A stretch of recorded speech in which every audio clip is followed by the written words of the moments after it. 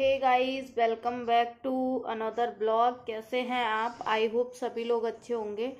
और अयांश की भी तबीयत ठीक नहीं है और मुझे भी फीवर आ गया है। तो हम दोनों भी हो गए हैं अभी। क्या आया बाबू? फीवर आ गया और मुझे इतना मतलब इतनी तेज़ी से कोल्ड हुआ है ना, बता नहीं सकते। आई आई, पागल हो गया। माँ जी मत जाएगी फिर। मुझे नीचे रखो कॉम। कॉम नीचे करो। मुझे इतनी तेज़ी से कोल्ड हुआ है तो मैं बता नहीं सकती। और ओ,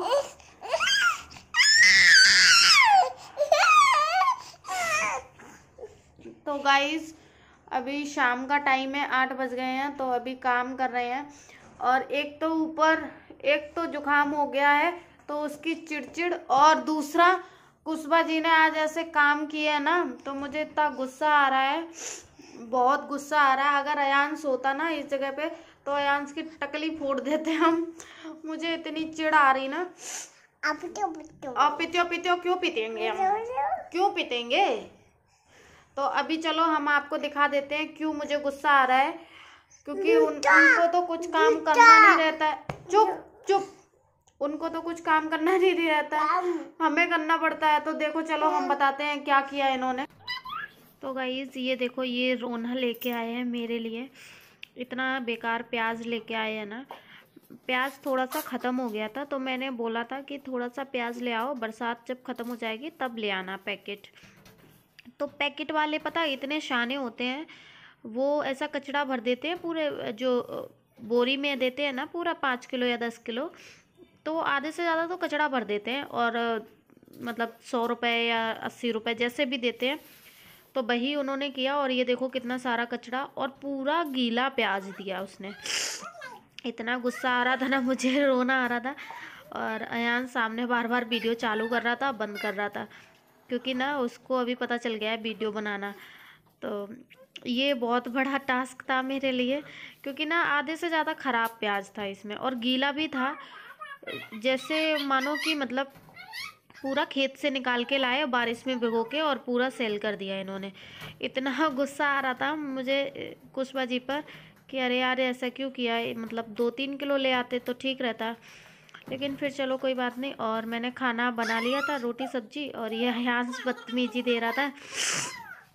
और पता है, अयांश के साथ ना पूरे दिन काम करते रहो ना तो पता नहीं चलता है कि कब हम बीमार हुए, कब क्या हुआ, क्योंकि ये हेल्प भी करता है मेरी। मतलब जैसे मैं बोलती हूँ कि मुझे मेरे सर में दर्द हो रहा है या कुछ भी तो मदद भी कर देता है। झाड़ू ले आओ झाड़ू लेके दे देता है और कर देता है। हाँ मदद कर देता है। एक डेढ़ साल का है तो भी मदद कर देता है। ये देखो छीके आ रही हैं मुझे इतनी तेज़ी से सर्दी हो गई है।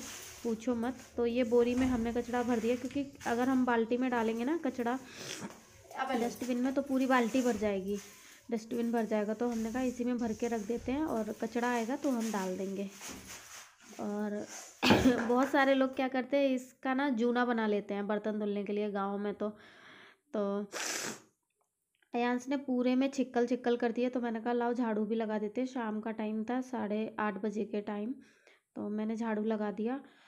और इसका ऐसे ही चलता रहता है, इधर से उधर, इधर से उधर। खाना पीना हो गया था, खाना खिला दिया था, कुछ बजी चले गए थे थोड़ा बाहर। और मेरा ही काम था तो मैंने उनको बाहर भेजा था। मैंने कहा, फिर दस बजे बंद हो जाएगा। तो मैंने बोली थी, मेडिसिन ले आओ जाके मेरे लिए, नहीं तो मैं परेशान रहूँगी पूरी रात।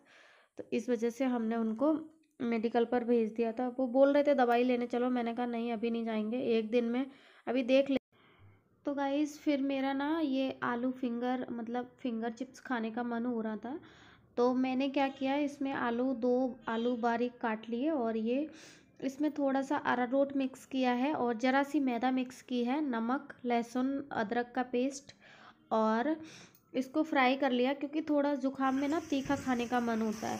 और मोमोज की चटनी के साथ मैं खाने वाली थी, वो चटनी मैंने बना ली थी और मैंने उसकी रेसिपी भी आपके साथ शेयर की है। पहले की वीडियो के साथ पहले की वीडियो में तो आप वहाँ से जाके देख सकते हैं चेकआउट कर सकते हैं। और ये मैंने फ्राई कर लिया है लेकिन मैंने इसमें ना कलर मिक्स नहीं किया है, क्योंकि ना कलर मिक्स कोई मुझे बेचना तो है नहीं, खाना था तो कलर वगैरह अगर जितना ना यूज़ करो, उतना ही अच्छा होता है। तो ये देखिएगा रेडी हो गए हैं, आप भी एक बार ट्राई करिएगा। बिल्कुल इजी तरीके से है, लेकिन जब बनाओगे ना कट करके एक बार पानी में डालकर रख दीजिएगा आधे घंटे के लिए तो इसका स्टार्च निकल जाएगा।